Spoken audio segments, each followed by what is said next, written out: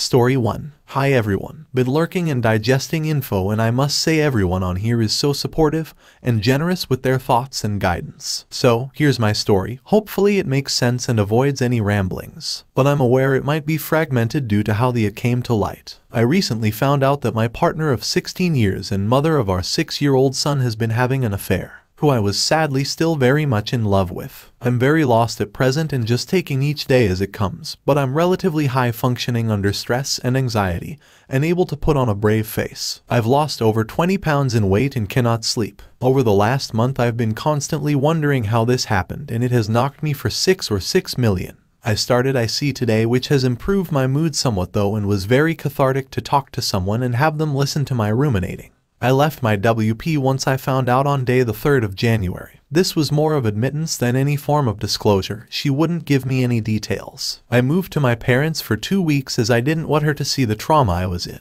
But for the last two weeks I've moved back into the family home as need to be closer to home for work and my son. WP has moved into her parents, although she is using the family home to remote work whilst I'm out at work. The last 12 months of our relationship weren't the same as the preceding 15 years that I accept. Second lockdown was tough, she's an extrovert and hated being locked up. Lack of intimacy between us crept in but relationship was never toxic or bad. We have always had laughter and happiness even recently around Xmas, common interests but equally individual hobbies. I was never controlling or unloving and always supportive, kind, and generous. But clearly a bit of boredom and monotony had occurred. Think I forgot how to communicate my love to her in the way she wanted and looking back got stuck in the mundane, everyday cycle of life, work, chores, childcare, watch TV for a bit, Fall asleep, bed, rinse and repeat. Since lockdown lifted in 2021, I'm in the UK, my partner started frequently going out with friends more etch but wanted to give her the freedom to do her own thing. In my head it was I love you so much I will sacrifice my own pleasure so she could have hers, especially after the restrictions of the second lockdown and her being an extrovert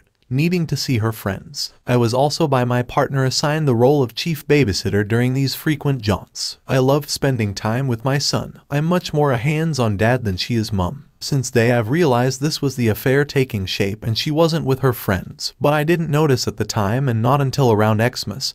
Trust and fidelity are a core value of mine, which she knew it had been communicated. Therefore, I never contemplated this would ever be the cause of our relationship to end. Gosh the lies that this took, messaging and calling me whilst on weekends away with him, discussing the meals, restaurants and activities that they had undertaken, under the cover of being with her female friends, showing me videos and sending me pictures of the places visited. She even chose walks to go on as a family to the same place she had been with AP the day before. She got sloppy though and left receipts of gifts she'd bought the AP for Xmas under the bed and also posted a picture of herself on SM wearing a hat and rucksack he'd bought her for Xmas. Not to mention birth control pills, but we hadn't been intimating for some time so she also must have been having unprotected SX. Erg. Back in time. I broke down in tears and had a panic attack in the autumn, November 16th to be precise due to noticing the change in our bond and opened that my heart was breaking, due to fear of losing her after an unusually nasty argument and wanting to fight to regain the relationship we once knew. We had a long conversation and we seemed to move forward. We agreed that it showed we both cared, although she stressed she still needed her space, and she didn't want me to smoother her. But alas it was too late she continued the A. My biggest regret is that I enabled her taking advantage of me, keeping me at home with our son whilst they pursued one another. Secondly, I just cannot fathom why after 15 and a bit wonderfully happy years and less than one tough one she just jumped ship on our family without even talking about any problems she may have had within our relationship to try to rectify them. That one hurts the deepest. She's now only contacting me regarding childcare arrangements. When I first left after day, she messaged me saying she missed me so much. She also called me about three days later saying the usual sorry I hurt you. He was someone who showed her a bit of attention. LYBNILWY, that she took me for granted. I'll never trust her again. Didn't think we could get back to how it was. Her head's been turned. She feels so ashamed. She's been living in a bubble and she needs to be on her own for a while. Since then, nothing but silence other than childcare arrangements. What she isn't aware is that I have found out who the AP is, and she doesn't know I know. He's the same age as the both of us 39 but never been in a long-term relationship. If he was such a good guy because couldn't he find a single lady? Had to go for the one with a family. He doesn't have any commitments and is therefore readily available unlike me who is caring for his family or now just child. They seem to have sparked a friendship through cycling and triathlon. He's even liked historical pictures of my son on her SM, like he's just wanting to take my family. Absolute rage at this. The few times that I've seen her since day when we have crossed paths at the house, I just don't recognize her within four weeks. She seems like a stranger. This might be just me but I'm really starting to think she might be having a midlife crisis, and at some point, she's either going to implode and see the damage she done or that it's gone so far, she can't turn back. The only people by which point that will have suffered is my son and me. I get physically nauseous when I think that ultimately this AP may get to be a part of my son's life and pass on his clearly warped character and moral compass onto him. Although his mother clearly has many flaws that I now see clear as day. As she has continued the relationship with her AP since the split, it's clear where her priorities now sit.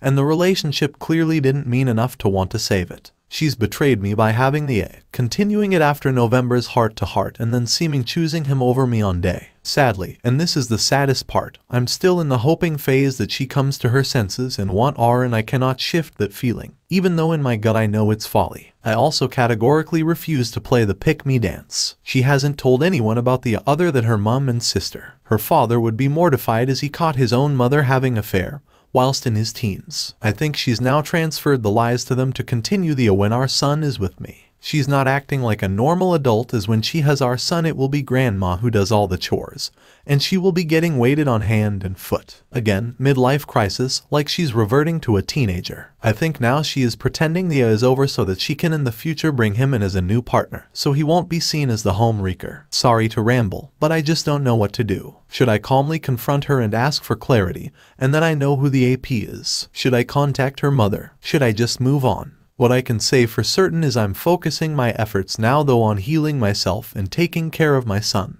I really need to sort the sleep out though, but really don't want to go down the medication route. I'm doing breathing techniques, mindfulness, walking and exercising when I can. These all help in different ways, but nothing seems to calm my mind when I go to bed. Many thanks to all those that take the time to read. Many thanks everyone for the advice and counsel. To clarify, we're not married. Both atheists, therefore we didn't feel the need to marry. We both earn equally and split the house bills equally, but one big issue is the house is solely in her name, which causes me stress as might not have a leg to stand on when it eventually comes to selling up. Thanks again, big love to all X. Hi quick update. Sun was with me last night and she arrived on cue this morning at 7 to take over, so was clearly upset when I said won't see him now until Friday. She ignored it really, asked if I'm okay, I said no, to which she replied simply oh okay. I simply left complete lack of any emotion towards me or son. Thanks all for the wise words and guidance. I have a week's annual leave starting the 18th of February and will find alternative place to live. We'll rent initially. Once I have my own space we'll then look to discuss with WP sale of property or buying me out of my share of the equity. I'm following the 180 now, focusing on me and my son exercise, walking, seeing family and friends, doing yoga, having IC and just generally being kind to myself. She is now getting NC from me other than childcare arrangements. Need to stop thinking about her now, but it's hard.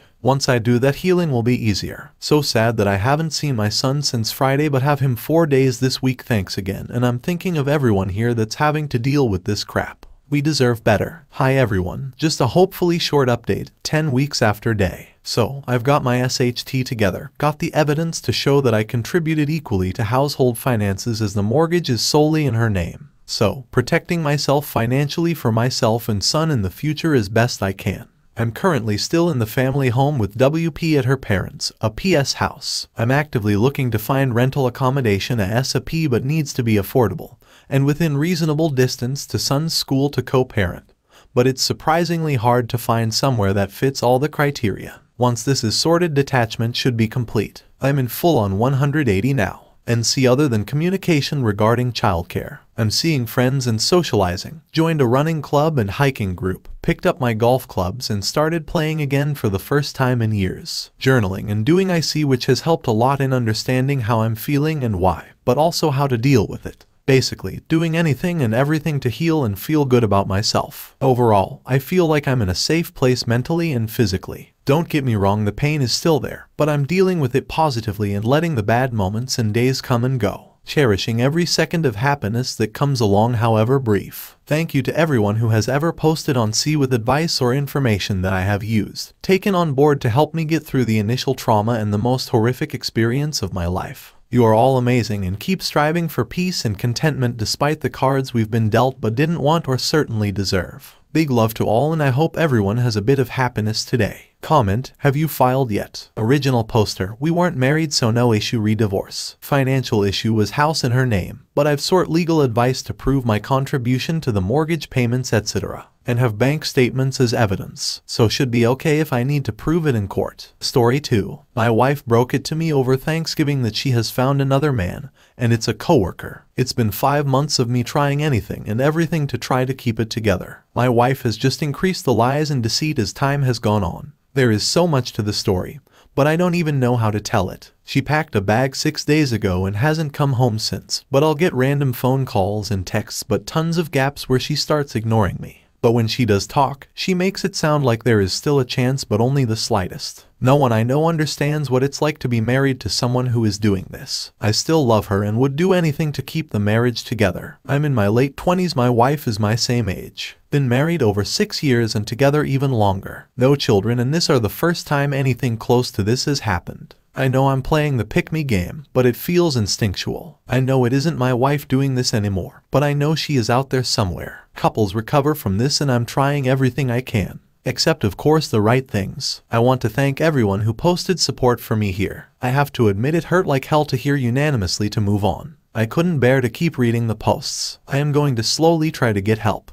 I have already started medication and am starting therapy soon. I still have no idea how I am going to get through this but I'm going to try one day at a time. I'm curious as to how your wife just up and left Blue Jessens 42. That is just cold. I have battled with depression for a long time and was in a bad spot living so far away from family and friends. We moved out away from where we were from four years ago, nearly three years into marriage. So I was in a rough spot and she claimed she got lonely and sad and I didn't notice and a coworker of hers did. It was like a switch went off and everything she had felt for me had disappeared. This completely blindsided me. We lived together for another six months and I took a job back near family. So at least I'm back by some sort of a support group. It's tough since life doesn't stop for this and everyone else has life happening too so there is far too much alone time right now and I'm not handling it well at all. I started the book but haven't finished it yet. Still trying to find strength in all the advice here. I wake up each morning in tears to the empty spot in bed next to me and want nothing more than to reach out to someone. Mainly my wife. No matter how ugly she is being, I can't seem to shake the feelings I have for her. Yes, I'm beyond mad and the times I imagine her in bed with the AP I want to scream. I come from a fairly religious background and I'm sure some people will disagree with religion, but I ask for understanding. My wife being even more religious than I makes the betrayal sting even more, especially since the AP has no part in religion. Don't let this section take over the thread I am just venting. I am not able to do so in a way I want to anymore. I have a dog that I have kept in the separation. He helps a ton, but I worry about him because he has slowed down on eating and I'm struggling to give him the attention he needs. I moved from having three acres for him to run around onto an apartment. Comment. Hey, you probably feel like you've been bombarded with advice and suggestions. It may be too much at this point though we all mean well. How are things going for you? Have you made any changes, or have you done anything that you feel has helped you? Original poster, I would say things are still pretty horrible. However, I have been attempting to do things to help me. I reached out to an old friend and I'm going to get into rock climbing with that person. I have a regular meeting with a counselor, but my one visit so far was uneventful. The only thing that has done a lot to raise my spirit is that I know my wife attended therapy yesterday. Although, I am also pretty sure she has also moved in with her AP at the same time. I started reading a book on abandonment as was recommended previously. It has been right so far about the feelings I have been going through. Overall, I'm still self-destructing but I am trying my hardest to forge my own path. I appreciate your concern and checking in on me. Right now that is what I have been craving the most is someone to talk to about the situation that isn't just telling me to get over it. Even when I know that is what must be done. Today is one of those days that is insanely overwhelming. I almost tried calling the AP to give him a piece of my mind, but the universe stopped me because his number disappeared from the area. I kept it when I blocked him. I knew it wasn't a good idea to do it in the first place, but nothing was going to stop me except, well, not having the number. None of this is easy and I find myself every night getting home to an empty apartment and instantly fall into overwhelming sadness just desperate to talk to someone. I send out random messages to see if I get any bites but never seems to work. So here I am venting on the internet. I am beyond angry knowing that my wayward wife moved back to the state we just left to get back to the AP.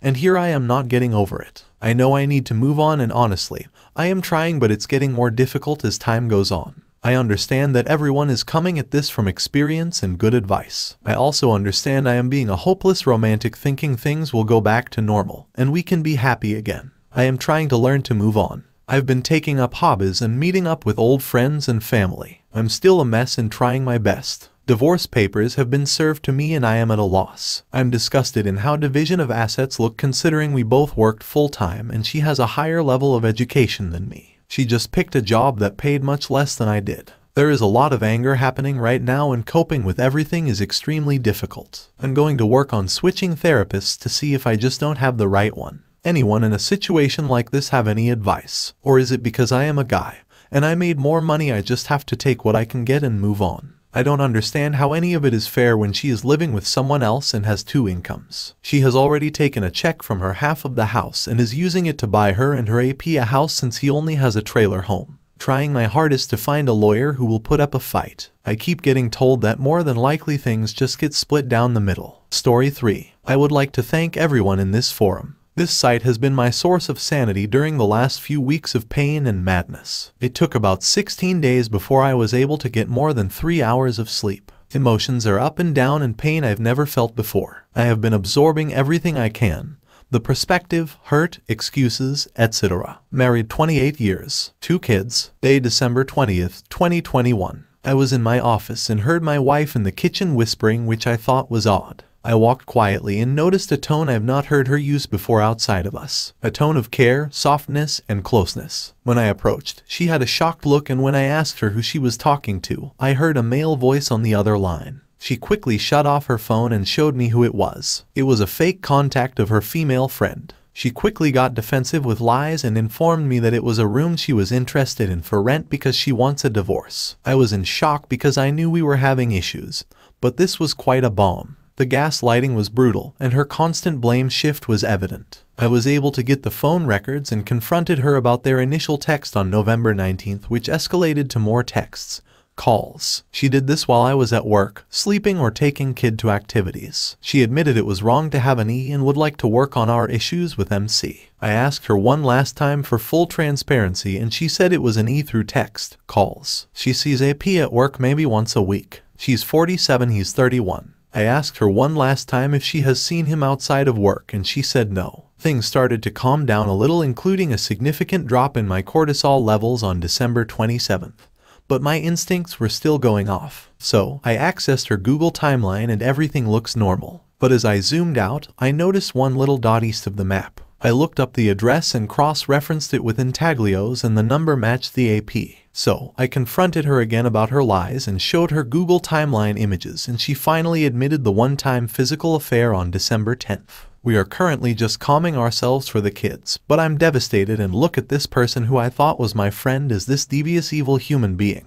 We were separated 13 years ago and dated other people, but after working it out and deciding on our second child, we agreed to be with each other only and if we want to be with someone else, prior to cheating, we will separate. She said she was done without relationship, and this was sort of her last act. She admits now that it was the wrong path, but at the time, she said it was nice to be with someone without all the negative issues. But now, she wants to try and work it out. She said a last attempt in saving us. It's confusing at times and my heart and brain are in constant battle as to what to do. I feel like taking her back enables here since there's zero consequence. At the same time, before this, we are great together. I'm going to have my first trauma IC this afternoon. I'm trying to figure out what path to take. There's so much more to write, but even just typing this makes me feel a lot lighter because I'm sharing something with those who knows what I'm feeling. Thank you. Comment. She wants to try and work it out. She said a last attempt in saving us. This is one of the most common lies that cheaters say, and don't be surprised that the A is still ongoing. What your WW is doing is to give you hope. Hope that you can go back to normal. This will make you smoke the opium pipe and ignore the other red flags that will be waving in the background still glued to phone, still staying on at her job, and you might get a bit of nookie, until she willingly gives up the basic things to even consider a chance at R, privacy handwritten timeline 100% NC with the AP you will not even be able to start on your journey out of infidelity. Original poster, thank you everyone. I appreciate your responses. Lots to think through here. I really like approach with some modifications. I do know that she has ended it. And she's mostly out of limerence, fog. But she's still blame shifting a little bit justifying that she wanted to exit anyway so her actions didn't matter. She seems torn if the better approach is to just divorce and or work on the marriage. She wants to keep the family but seems unhappy. I'm on the fence as well. I did have a great session with my IC yesterday. It sounds like there's a lot of what she calls delusional remorse and compulsive infidelity. I'm trying to ride the weekend and since it's my son's bay, I don't want him impacted with all of this. Not sure what to do since we are both 50 over 50. The sad part is that I'm questioning everything the last six years now because she did have some odd behavior that almost mimics the recent events. But I was too busy to notice. We'll think on it some more and see if we can be fixed or if I even want to try. Either way, no happy ending here. She has been transparent. The issue right now is she's looking for another job. She needs this position because it's for a specific specialty, and quitting without a similar position would set her back immensely on her career path. She is looking for another job that I can see. She also told me this person is on rotation, so they only see each other once every week or so and it's a very open setting due to the nature of her position. I did verify this because I have a friend that works in a similar position. They haven't seen each other since day that I am sure of. Their last conversation was on December 25th when she broke it off that night. Honestly, at this point if she does talk to him, I almost welcome it so that my decision will be easier.